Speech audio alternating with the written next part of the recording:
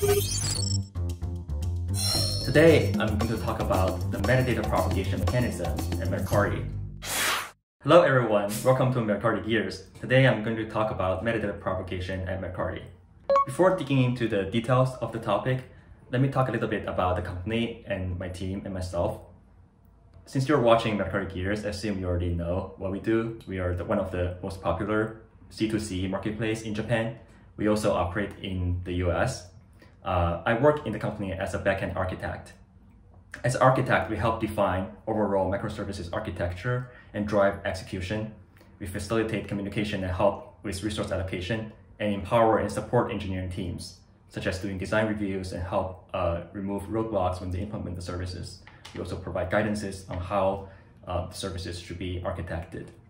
Working as an architect is the opportunity to work on the problem, technical problems all over the stack.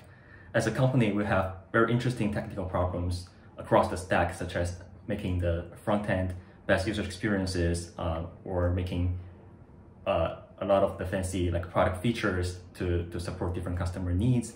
Uh, and uh, for example, AI and machine learning to, to drive um, personalization, discovery, and recommendation, and the infrastructure problems to support a uh, all of all of these things on top of it at scale.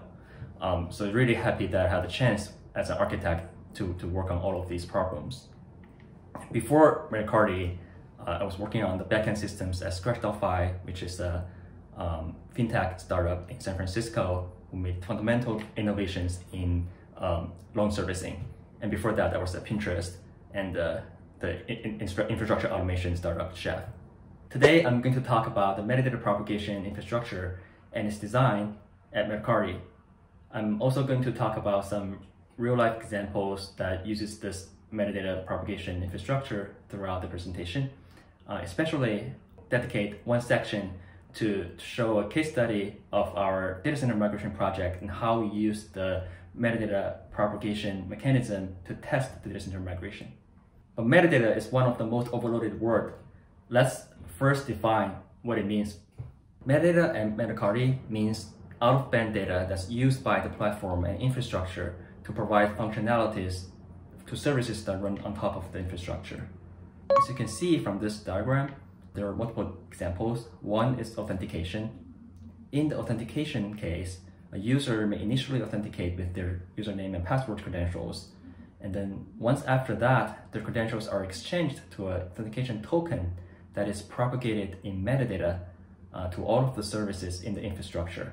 And then each of these service can then talk to the authentication service to using the token in the metadata to authenticate the request. Another example is the experimentation platform.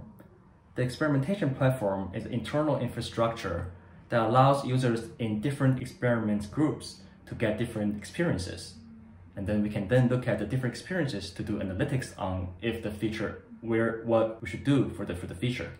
Data required by the experimentation platform can be propagated in metadata, and then the experimentation platform can provide the treatment to the different services based on the information in the metadata.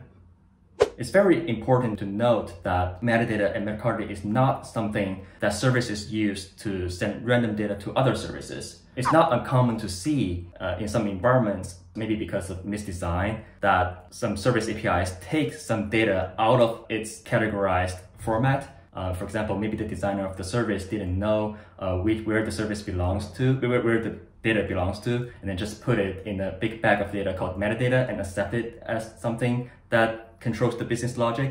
Uh, that's very bad because over time, you will have a big bag of metadata that nobody knows what the content is used for, what some other content is used for. It's hard to remove because maybe something's used for some critical things, maybe something's not.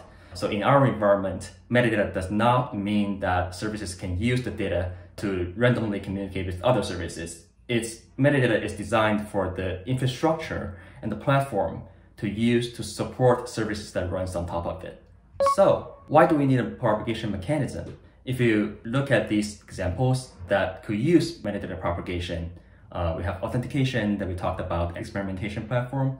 There's also, for example, debug logging. We could set a request ID at the time the infrastructure received a request and then propagate the request ID to each of the services downstream.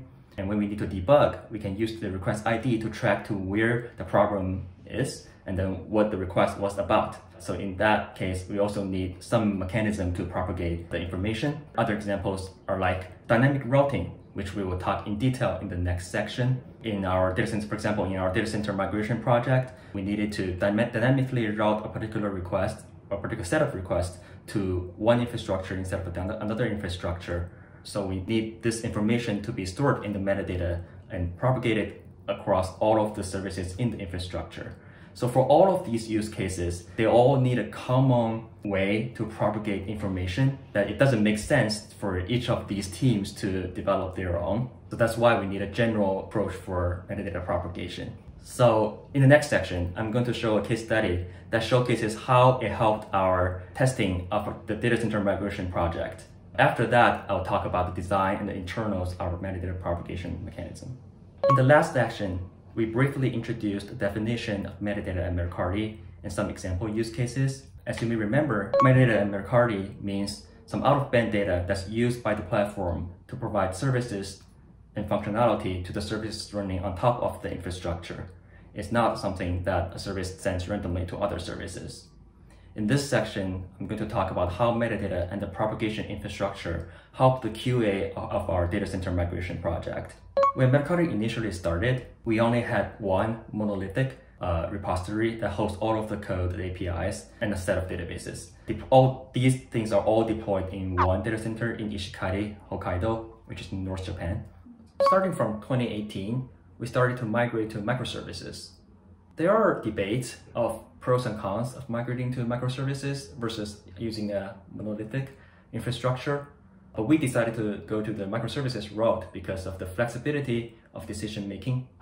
In the new infrastructure, we will have an API gateway and request will first go to the API gateway and then be routed to either the microservices or the PHP APIs. Note that the microservices can also talk to the PHP APIs. The new microservices are deployed in Google Cloud in the Tokyo region, and the old PHP APIs at that moment were still at the Ishikari data center. At this moment, we have more than 200 services, and they have very complex interactions. For example, a services may talk to another microservice, which may send a message to a message queue to subscription system, which might be subscribed by another microservice that needs to do something with the legacy PHP system. So even though, for example, service A owner may not have the intention to use something provided by the legacy system, at the end of the day, actually, there's still a very significant amount of requests that end up going to the legacy infrastructure. And remember that legacy infrastructure was deployed in Hokkaido, Ishikari, and the new infrastructure for microservices are in Tokyo. The round trip between these places actually takes time and slows user experience. As you can see on the map, they're actually pretty far. So in order to reduce the round trip time for a very significant amount of requests from users. We want to migrate the infrastructure in the Ishikari Internet Center to Tokyo in Google Cloud. In reality, we have multiple data centers in Tokyo, not just to the Google Cloud, but for the sake of this presentation and example, you can understand it as the migration to Google Cloud in Tokyo.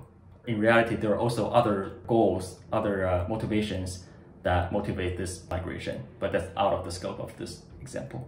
So after the migration, what we want is for all of the new infrastructure and the legacy PHP APIs to be in the same Tokyo data center region, at least in Tokyo region, the same data centers to reduce the round trip time.